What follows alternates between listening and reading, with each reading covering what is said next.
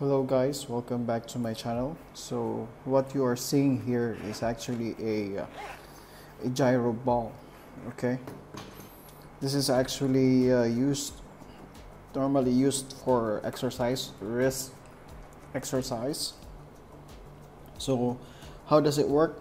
Uh, you actually need to spin the, the central, central, uh, what do you call that, central ball inside actually rotates and uh, the faster it moves the uh, greater force it actually um, generates um, because it has a gyroscopic uh, um, characteristics. So I will not actually explain about gyroscope. So I'm just going to demonstrate how this one works. So normally you can uh, power this up power this up by um, rotating this first. It's like you got you need to push this one. There's an arrow. Push this one first until you can no longer um, uh, push it because it actually needs needs to have a startup. So if you release this one it actually rotates. Then this time you're going to rotate it um, to to uh, get some momentum. So this is actually just a starter okay that's one way to to uh, start it. The other way is just need to do like slide it uh, fast and then rotate. Something like that. Okay let's try let's try again.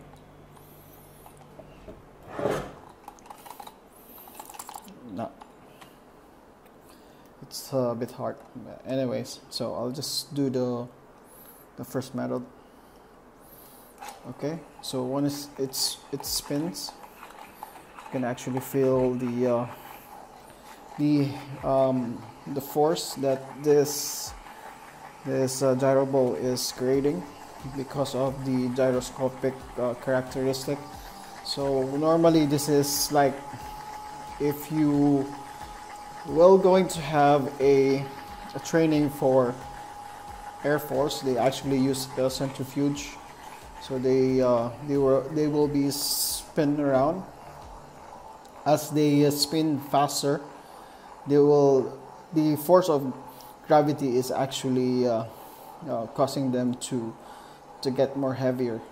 And they actually call it as a g-force. So the characteristic is actually the same with this one. Okay?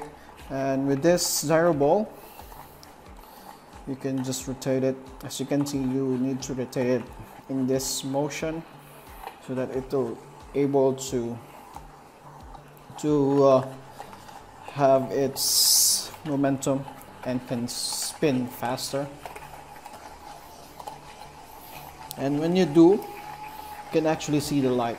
So I'm actually my hands just still but you can still see that um, it's still moving because of the huge force that this spins have and it also lights up as you can see.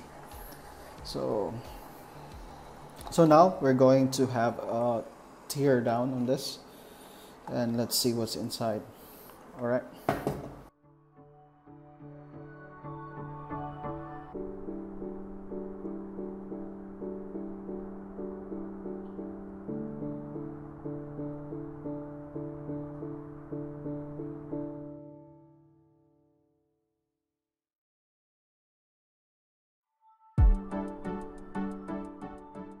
Alright guys, I have managed to tear it down. So this is actually the internals here.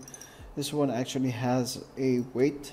So as this one spin, the uh, centrifugal force is actually acting on the sides of of this uh, going going outward from the center. So that's creating the uh, centrifugal force. So so if there is someone here like inside it they will be uh, pushed outward from the center. And this is actually quite heavy. And the uh, the LED lights or the light the lighting for this one is this one. We have an LED here. And there would be some somewhere a sensor probably the sensor is I'm not sure where is the sensor. Okay this is a capacitor and somewhere the sensor is is in here. I think this is the one. Uh, when this one spins um, this one acts as a uh, electromagnetic induction. So when it it is attracted with the magnet all the electrons will it, it'll actually create a, a flow of electricity. So flow flow of electrons. I'm not actually quite sure uh, where is the the uh, center for this alright so this is just the internal this is the LED light the uh, uh, inductors then you have here the capacitor. And it's actually coated there is somewhere here a uh, device that'll that'll uh, catch the the magnet to create a flow of electricity. So that's why this one will actually the LED will light up. Okay um, I'll try to put it back and see if this one will work again. Okay just to add this is actually the uh, mechanism for it to uh, able to spin. Like um, to have a startup. Okay as you can see this is kind of hard to uh, to rotate this is actually a uh, like a wind up uh, metal plate. Uh, if you had like toys before like when you uh, drag it down and then you release it it's actually the same mechanism as this one. Okay let's just go back to uh, putting it all together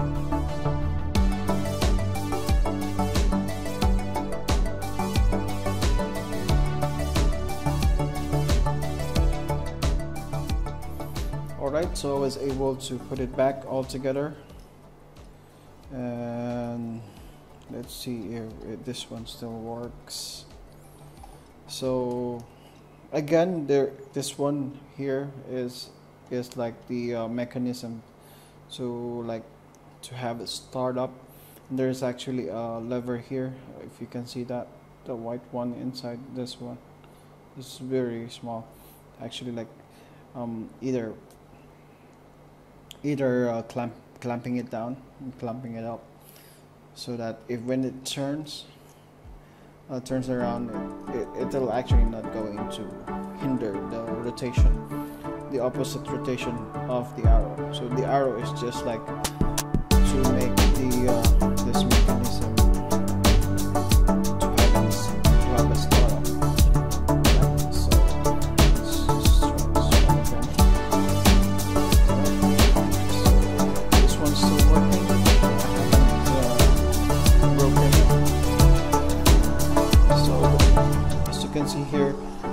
the light is actually affected by the